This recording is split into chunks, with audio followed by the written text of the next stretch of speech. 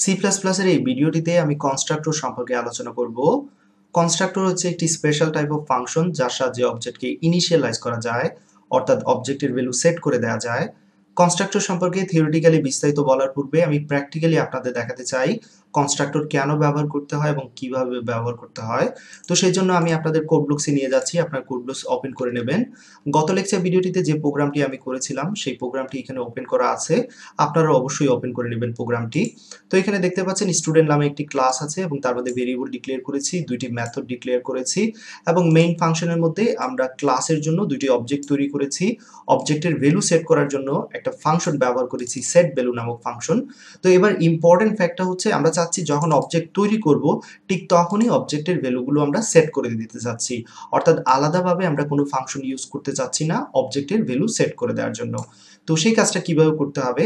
সেই কাজটা করার জন্যই আমরা ব্যবহার করব কনস্ট্রাক্টর কনস্ট্রাক্টরের কাজ হচ্ছে, আপনি যখন অবজেক্ট তৈরি করবেন, ঠিক তখনই সেই অবজেক্টগুলোর ভ্যালু সেট করে দিতে পারবেন। তো সেটা বোঝানোর জন্য আমি এখান থেকে এটা সরিয়ে নিচ্ছি। একটা একটা করে আলাদা আলাদা অবজেক্ট রাখতেছি। লক্ষ্য রাখবেন আপনারা। পারফেক্ট সো দুইটা আলাদা অবজেক্ট নিলাম। এবার আমার টার্গেট হচ্ছে এই অবজেক্টগুলো যখন তৈরি করতেছি, তখনই তাদের ভ্যালু সেট করে দিতে চাচ্ছি। অর্থাৎ আলাদা কোনো ফাংশন আমি ইউজ করতে চাচ্ছি না। ওকে দ্যাটস গ্রেট অবশ্যই আমরা সেটা পারব। তো আমরা এই ভ্যালুগুলো চাচ্ছি, যখন অবজেক্ট তৈরি করব, ঠিক তখনই এখানে সেট করে দিতে চাচ্ছি। সুতরাং আলাদা কোনো ফাংশন ব্যবহারের প্রয়োজন আমরা মনে করতেছি না। তো এই কাজটা করার জন্য আমরা কি করব? কনস্ট্রাক্টর ব্যবহার করব। লক্ষ্য রাখবেন এই ভ্যালুগুলো সেট করার জন্য আমরা আলাদা কোনো ফাংশন ইউজ করব না। তাই এখানে যখনই অবজেক্টটা তৈরি করতেছি, তখনই তার ভ্যালুগুলো সেট করে দিচ্ছি। তো এখানে এই ফাংশনের প্রয়োজন পড়তেছে না তাহলে। তো যেহেতু আমাদের সেট ভ্যালু ফাংশনের প্রয়োজন নেই, সেহেতু আমরা সেট ভ্যালু ফাংশন এখান থেকে সরিয়ে নিলাম। এবার আমাদের প্রবলেমটা হচ্ছে যে, ঠিক আছে, আমরা অবজেক্ট যখন তৈরি করতেছি তখনই তার ভ্যালুগুলো দিয়ে দিচ্ছি, কিন্তু সেই ভ্যালুগুলো রিসিভ করার জন্য আমাদের একটা কনস্ট্রাক্টর ডিক্লেয়ার করতে হবে, অর্থাৎ একটা ফাংশন ডিক্লেয়ার করতে হবে। তো সেই ফাংশনটা কীভাবে ডিক্লেয়ার করতে হয়? এবার সেই সম্পর্কে আমি ধারণা দিচ্ছি।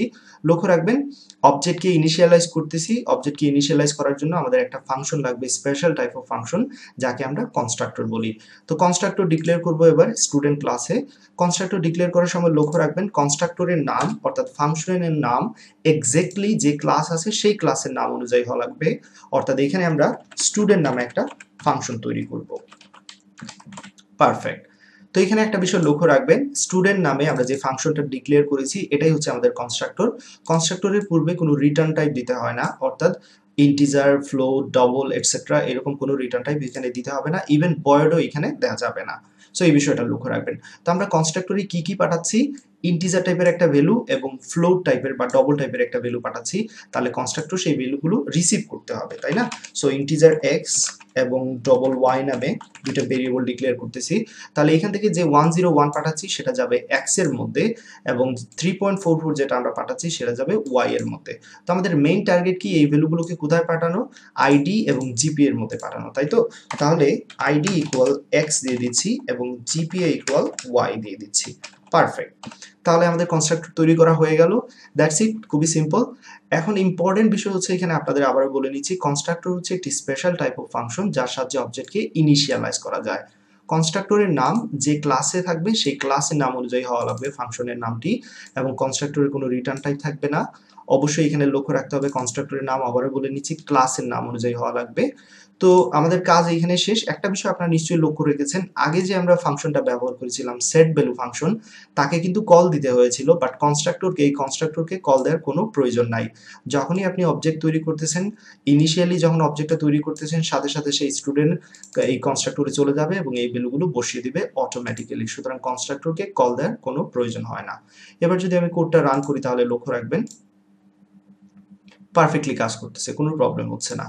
তো এই ছিল কনস্ট্রাক্টর সম্পর্কে, আশা করি আপনারা কনস্ট্রাক্টর ব্যবহার সম্পর্কে জেনে গেছেন। এবার কনস্ট্রাক্টর সম্পর্কে থিওরিটিক্যালি একটু বলে নিচ্ছি, যেহেতু প্র্যাকটিক্যাল জ্ঞান আপনাদের দেওয়া হয়ে গেছে, সুতরাং থিওরিটিক্যালি আপনারা খুব ইজিলি বুঝতে পারবেন এবার। কনস্ট্রাক্টর হচ্ছে একটি স্পেশাল টাইপ অফ ফাংশন যেটা ইউজ করা হয় অবজেক্টকে ইনিশিয়ালাইজ করার জন্য, অর্থাৎ অবজেক্টের ভ্যালু সেট করে দেওয়ার জন্য। কনস্ট্রাক্টরের প্রপার্টিগুলো কি কি একটু জেনে নেবেন, প্রায় সময় এক্সামে এই কোয়েশ্চেনগুলো থাকে। সো কনস্ট্রাক্টরের প্রধান প্রপার্টি হচ্ছে যে, এটি হচ্ছে স্পেশাল টাইপ অফ ফাংশন যেটা অলরেডি আপনারা জেনে নিয়েছেন। কনস্ট্রাক্টরের নাম থাকবে এক্স্যাক্টলি যে ক্লাসে আছে, সেই ক্লাসের নাম অনুযায়ী থাকবে। কনস্ট্রাক্টরের কোনো রিটার্ন টাইপ থাকবে না ইভেন বয়েরও থাকতে পারবে না। এবং কনস্ট্রাক্টর অটোমেটিক্যালি কল হয় সো আপনাকে এক্সট্রা কল দেওয়ার কোনো প্রয়োজন নাই। তো এই ভিডিও টিউটোরিয়াল এতটুকু থাকবে। আশা করি ভিডিওটি আপনাদের ভালো লেগেছে। যদি লাগে, তাহলে অবশ্যই লাইক দিতে ভুলবেন না এবং আমার চ্যানেলে সাবস্ক্রাইব করতে ভুলবেন না। আরেকটা বিষয় বলে নিছি প্লিজ আমার ভিডিওগুলো সবার সাথে শেয়ার করুন। কারণ আমার উদ্দেশ্য ছিল যে কম্পিউটার সায়েন্সের জন্য বাংলা ভিডিও সিরিজের অভাব দূর করা। যতটুকু সম্ভব, আমি সেই চেষ্টা করতেছি গত দুই থেকে তিন বছর ধরে। সো আপনাদের সাপোর্ট চাচ্ছি এবং আমি চাচ্ছি বেশি মানুষকে সাহায্য করতে, বেশি স্টুডেন্টকে হেল্প করতে। সো সেটা অনলি পসিবল হবে যদি আপনারা আমার ভিডিওগুলো শেয়ার করেন, আমার চ্যানেল আপনাদের বন্ধুদের সাথে শেয়ার করেন। এডুকেশনাল চ্যানেলগুলোকে আপনাদের সাপোর্ট করতে হবে। এটা আমার চ্যানেল বা অন্য কোনো চ্যানেলই হোক, যারা এডুকেশনাল কন্টেন্ট তৈরি করে তাদেরকে আমাদের সাপোর্ট করতে হবে। তাহলে তারা আরও জিনিস নিয়ে আসবে, নতুন নতুন ভিডিও নিয়ে আসবে, যেগুলো আমাদের জন্যই কাজে লাগবে। সো এই ভিডিও টিউটোরিয়াল এতগুলো থাকবে। আপনাদের মতামত অবশ্যই কমেন্টে জানিয়ে দিতে ভুলবেন না, কোন সাবজেক্টের উপর আপনার ভিডিও চাচ্ছেন। এবং আপনারা আমাকে ফেসবুকে ফলো করতে পারেন। এখানে আমার ফেসবুকে অ্যাড্রেস দেওয়া আছে। সবাই ভালো থাকবেন সুস্থ থাকবেন। আল্লাহ হাফিজ।